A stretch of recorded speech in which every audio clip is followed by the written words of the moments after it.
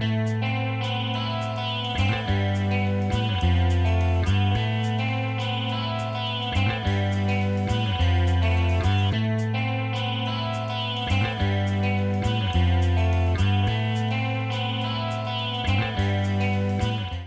ist der Ort, wo ich mich geborgen fühle, wo ich glücklich bin, wo ich Freunde habe, wo ich einfach leben möchte.